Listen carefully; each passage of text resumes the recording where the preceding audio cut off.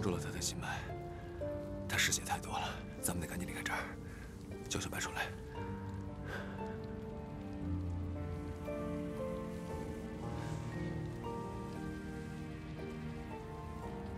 小白呢？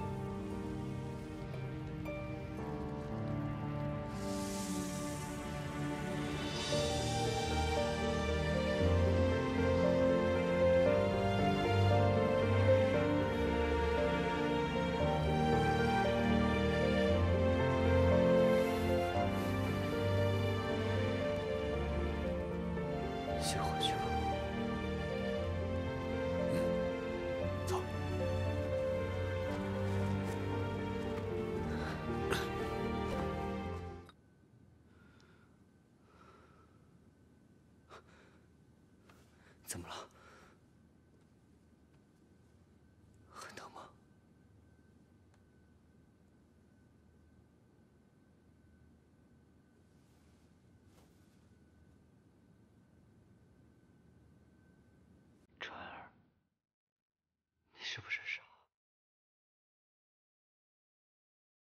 为了救我，不惜用刀子插向自己的心脏。你不要命了吗？不点灵灯了吗？还是你现在灵灯的那一刻了？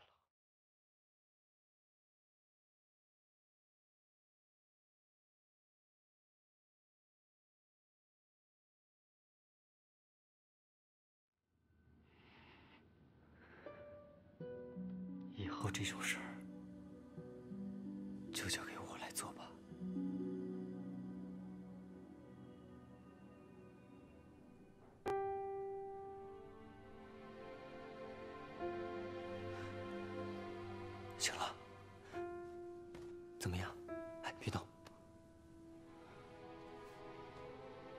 伤口裂了，我帮你涂药。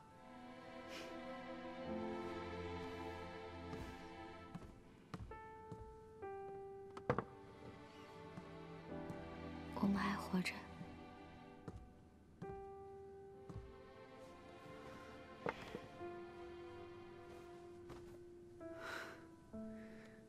是啊，是你救了大家。那妖怪跌下了火山，我们都活下来了，还拿回了灵灯。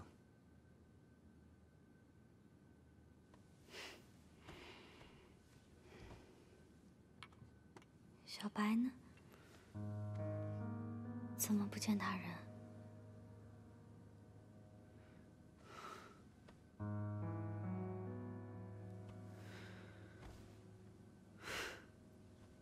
那你看，小白不是在这儿吗？小白消耗了太多的心力，睡着了。那你也知道的，他平日里最喜欢睡觉了。我们不要吵醒他，让他好好歇歇。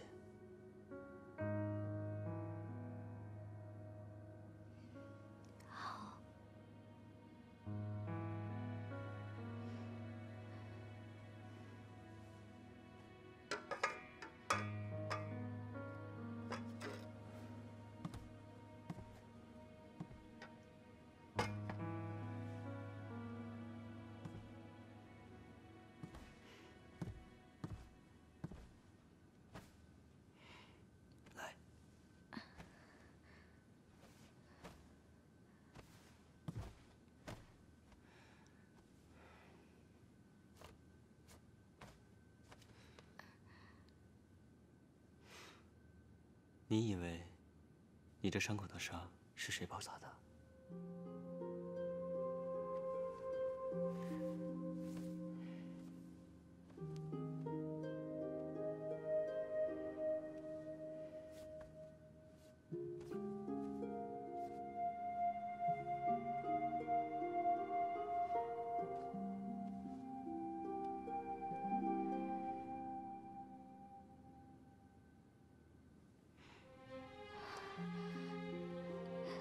疼的话就咬我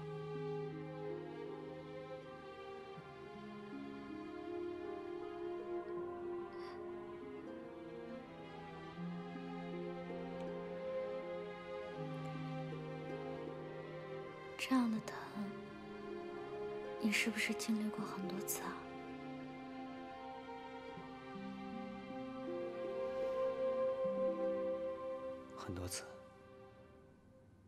那你疼的时候咬谁啊？小白？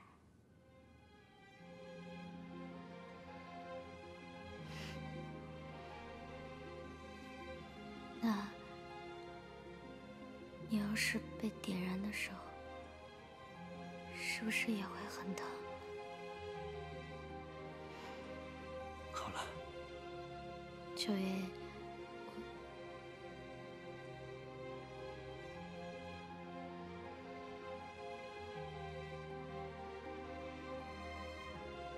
想吃所有饼了。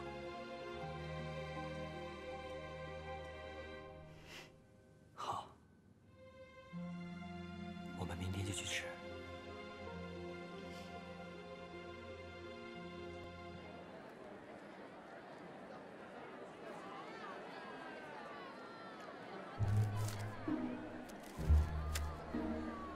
嗯，这酥油饼可比鲜要灵多了，吃上一口，什么毛病都好。那是自然。到时候我也想开一家饼店，招牌上就画一个油壶，上面写的“悬壶济世，治饼救人”。试试。姑娘是赶上好时候了，咱们桃源镇啊，紧挨着离国。一年前，别说是开肉饼店了，邻里们在家都不敢煮肉，生怕把那些妖怪给招过来。现在也不知道是怎么了，妖怪们一大半啊都去了南蛮之地。我听道士说，是他们的妖王回来了。你们安心开着你们的饼摊吧。不管是李国还是桃源镇，以后不会有妖了。这天下怎么会没有妖呢？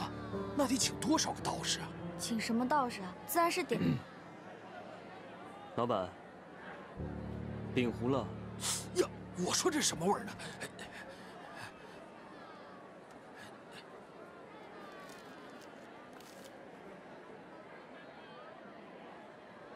川儿，如果我们开饼店的话，我来和面吧。那和面是技术活，你顶多是收着钱。神仙不沾铜臭的，我就画你说的那个油壶怎么样？那你还是写字吧。我总有一技之长吧，再不济，写副对联总可以了吧？写什么？你嘴上有油渣。滚蛋！老板，哎，再来两张饼。好嘞。